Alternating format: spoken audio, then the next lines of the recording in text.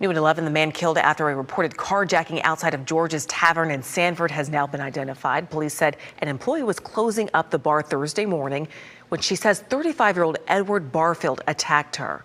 Her friend then shot and killed him in her defense. No charges have been filed in this case.